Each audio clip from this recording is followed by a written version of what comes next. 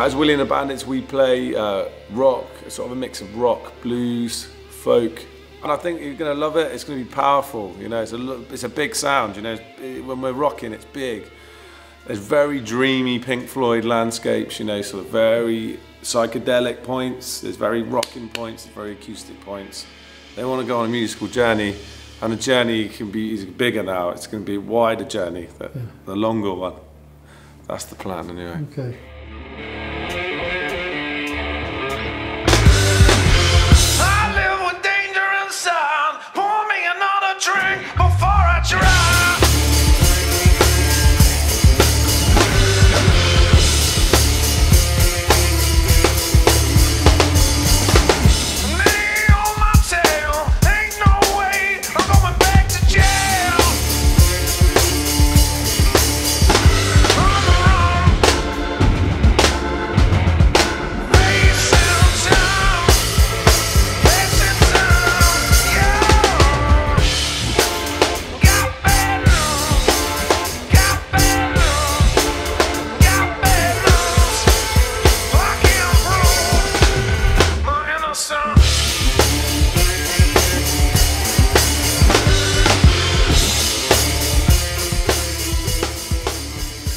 Every song to be different. I want every song to have a personality and identity. I don't want to do the same thing twice because I just feel that that.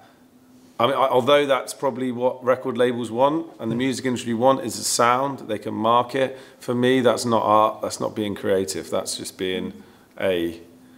That's just sort of recreating the same thing to make money. Whereas I find for myself as an artist and as someone who's creative, I want everything I do to be different to the last thing and find a new inspiration and a new thing. It's like painting a picture. You have all these colours in the world, and why would you use the same three colours every time? It's good to bring all the colours in and try and make something that's interesting for me and for the audience and for everyone, you know.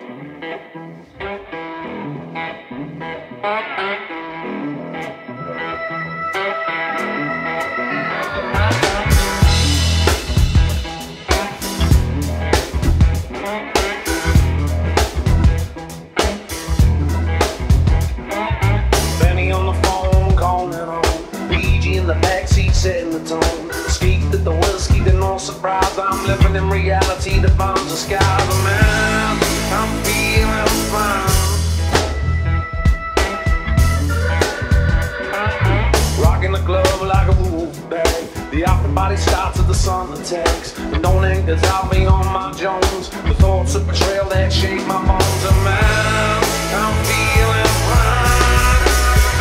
Wow, wow, wait,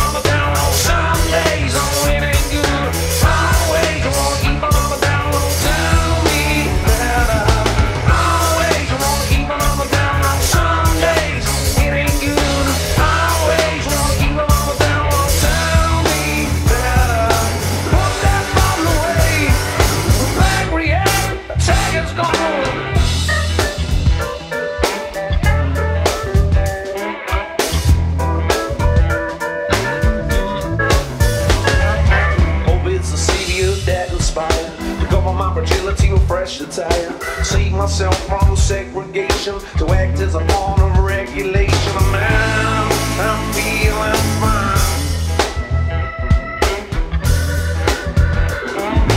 Easy to psychoanalyze. Victim of substance or pantomime. Thoughts in you now, you can find my mind. Again, if I seem to find the right kind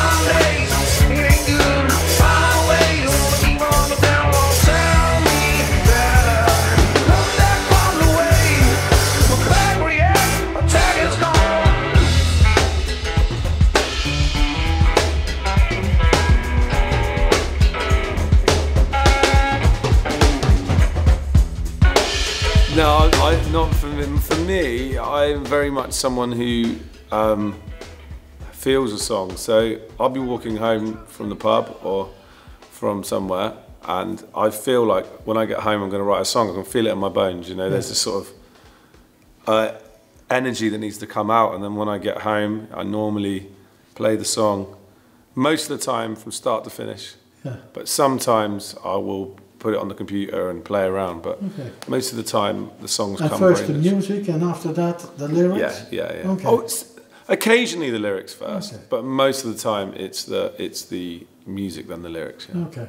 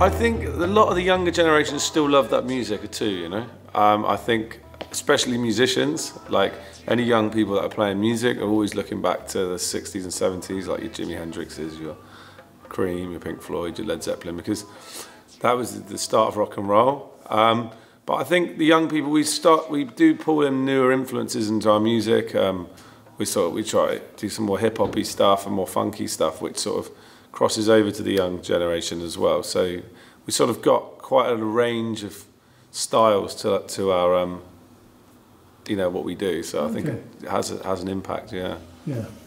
um, guitar-led music's not as prominent in the mainstream. I think when you uh, when you actually um, expose people to to it, Yeah. I think people actually do really enjoy it. It's just they haven't got it like in, back in your day Yeah. and my day as well because I'm I'm from the '90s child, so grunge music like Pearl Jam and Nirvana that was my thing. So Yeah. you know, it's um, it's just. There's just not as much guitar music about, but it is still out there, and there's still young people that are really into it.